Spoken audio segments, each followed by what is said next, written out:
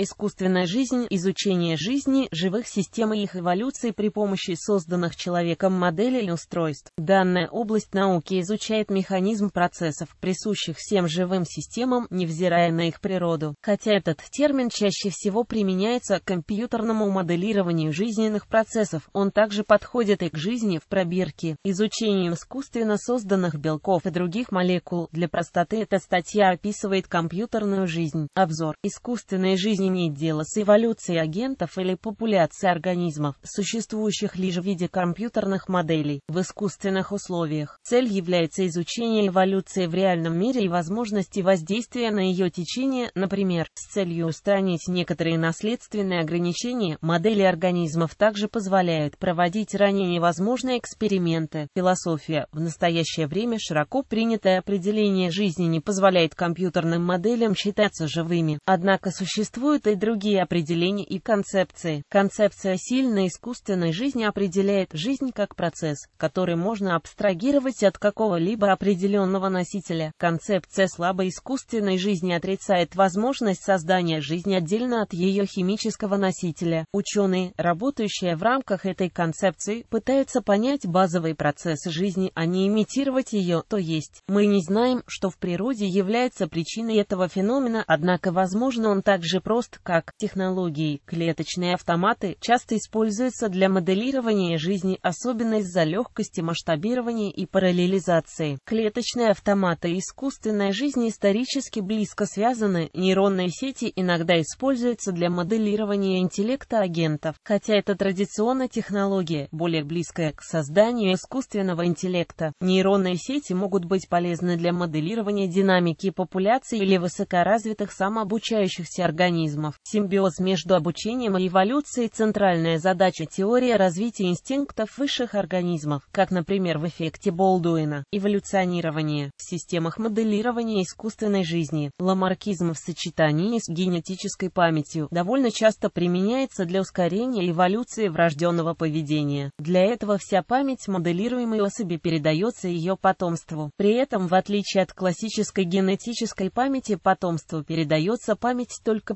предыдущего поколения. При этом ламаркизм может совмещаться с дарвинизмом, который может использоваться для моделирования других аспектов моделей организмов. Источник смежной области. Искусственный интеллект. Традиционно при создании искусственного интеллекта используется проектирование от структуры к элементу, тогда как искусственная жизнь синтезируется при помощи проектирования от элемента к структуре. Искусственная химия Искусственная химия зародилась в качестве набора методов, с помощью которых моделируются химические процессы между элементами популяции искусственной жизни. Одним из наиболее удобных для изучения объектов подобного рода является реакция Бутлерова автокаталитический синтез углеводов из водного раствора, формальдегида в присутствии гидроксидов кальция или магния XCH2O равно икте, КС2-КСОКС. В результате реакции образуется смесь углеводов самого различного строения. Если количество формальдегида в растворе ограничено, в системе устанавливается своеобразное равновесие между процессами роста и распада молекул углеводов. При этом, как и в биологических системах, выживает сильнейший, то есть происходит своеобразный естественный отбор, и в системе накапливаются наиболее устойчивые молекулы углеводов. Считается, что похожие процессы, которые имели место в предбиологической химии Земли, привели к возникновению жизни на планете. Эволюционные алгоритмы для задачи оптимизации Многие оптимизационные алгоритмы близко связаны с концепцией слабой искусственной жизни. Основная разница между ними состоит в том, как определяется способность агента решить какую-нибудь задачу. Муравьиный алгоритм, эволюционные алгоритмы, генетические алгоритмы, генетическое программирование, интеллект толпы, эволюционное искусство. Эволюционное искусство использует технологии и методы искусственной жизни для создания новых видов визуального искусства. Эволюционная музыка использует похожие технологии, однако в применении к музыке Mycoplasma Laboratorium – проект искусственной жизни. Mycoplasma Laboratorium – вид бактерий рода микоплазма, запланированная, частично синтетическая разновидность бактерий, полученная из генома Mycoplasma genitalium. Этой работой занимается в Институте Дежа Крейга Вентера команда из примерно 20 ученых, возглавляемых Нобелевским лауреатом Хэмилтоном Смитом, включая исследователя ДНК Крейга Вентера и микробиолога Клайда Хатчисона-3. Команда ученых начала сначала с бактерии Mycoplasma genitalium облигатного внутриклеточного паразита, геном которого состоит из 482 генов, включающих 580 тысяч пар оснований, устроенных на одной круглой хромосоме. Они тогда систематически удалили гены, чтобы найти минимальный набор 382 генов, которые способны жить. Эта работа была также известна как минимальный проект генома. Команда намеревается синтезировать последовательности ДНК хромосомы, состоящие из этих 382 генов. Как только версия минимальной хромосомы с 381 геном была синтезирована, ее пересадили в клетку Mycoplasma genitalium, чтобы создать Mycoplasma laboratorium. Получающаяся бактерия Mycoplasma laboratorium, как ожидают, будет в состоянии копировать себя со своей искусственной ДНК. Таким образом, она является единственным синтетическим организмом к настоящему времени, хотя молекулярная машина и химическая окружающая среда, которая позволила бы этому копировать, не являются синтетическими. В 2003 команда продемонстрировала быстрый метод синтезирования генома на пустом месте, производя геном с 5386 основами бактериофага FX174 приблизительно за две недели. Однако, геном Mycoplasma laboratorium приблизительно в 50 раз больше. В январе 2008 команда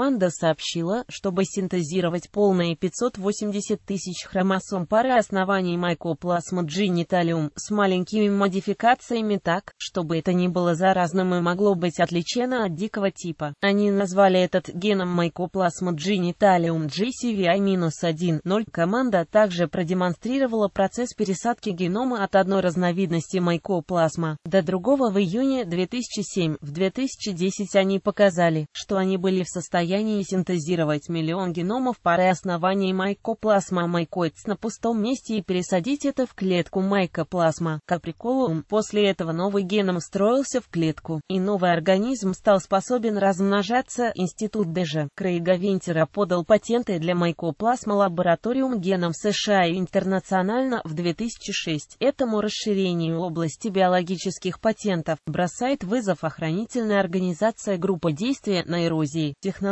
концентрации. Винтер надеется в конечном счете синтезировать бактерии, чтобы производить водород и биотопливо, и также поглощать углекислые газы и другие парниковые газы. Джордж Черч, другой пионер в синтетической биологии, считает, что Escherichia coli является более эффективным организмом, чем Mycoplasma genitalium, и что создание полностью синтетического генома не является необходимым и слишком дорогостоящим для таких задач. Он указывает, что синтетические гены были уже включены в Escherichia coli, чтобы выполнить некоторые из вышеупомянутых задач. Серая слизь. Серая слизь – гипотетический сценарий конца света, связанный с успехами молекулярных нанотехнологий, предсказывающий, что неуправляемые самореплицирующиеся нанороботы поглотят всю биомассу Земли, выполняя свою программу саморазмножения. Как правило, термин используется в популярной прессе или научной фантастике, худших постулируемых сценариях, требующих больших, способных к космическим полетам машин, материя вне Земли также обращается в серую слизь. Под этим термином понимается большая масса самовоспроизводящихся наномашин, которые не обладают структурой в большом масштабе, которая может оказаться, а может и не оказаться подобной слизью. Бедствие случается по причине преднамеренного включения машины судного дня или от случайной мутации в самореплицирующихся наномашинах, используемых в других целях, но созданных для работы в естественной среде, цифровой организм. Цифровой организм – самовоспроизводящаяся компьютерная программа, которая мутирует и развивается. Цифровые организмы используют в качестве инструмента для изучения динамики эволюции по Дарвину, для тестирования или проверки конкретных гипотез или математических моделей эволюции. Эти исследования тесно связаны с областью создания искусственной жизни. История. Критика. В истории искусственной жизни было довольно много споров и